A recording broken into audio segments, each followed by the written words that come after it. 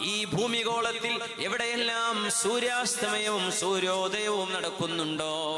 അവിടെയെല്ലാം ഇസ്ലാമിന്റെ പ്രഭയത്തും ഹബ്ബാബ് എന്ന് റസൂലുള്ളാഹി സ്വല്ലല്ലാഹു അലൈഹി വസല്ലം ആർട്ടിക്കയിൽ നിന്ന് അന്റാർട്ടിക്കയിലേക്ക് ഗ്രീൻലാൻഡിലേക്ക് അങ്ങ് ഓസ്ട്രേലിയയിലേക്ക് അതിന്റെ താഴ്ഭാഗങ്ങളിലേക്ക് ന്യൂസിലാൻഡിലേക്ക് അങ്ങ് ജപ്പാനിലേക്ക് അങ്ങ് കാനഡയിലേക്ക് ബ്രസീലിലേക്ക് ഇസ്ലാമിന്റെ വെളിച്ചം അങ്ങ് സൗത്ത് ആഫ്രിക്കയിലെ കേപ്പ് ഓഫ് ഗുഡ് ഹോപ്പിലേക്ക് അടക്കം ലോകത്തിന്റെ നെറുകയിലും താഴെയും മീതയും ഇന്ന് വാങ്കുലി ഉയരാത്ത സ്ഥലങ്ങളുണ്ടോ?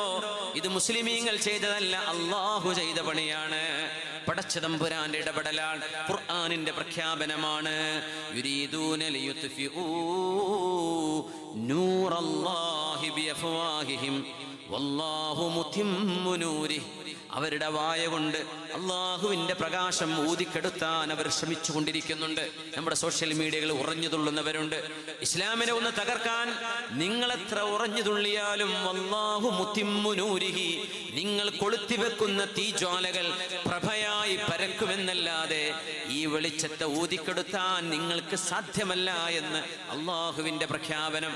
ഇത് മനുഷ്യൻ ചെയ്യുന്നതല്ല ലോകത്തിന്റെ രക്ഷിതാവിന്റെ പ്രഖ്യാപനമാണ്.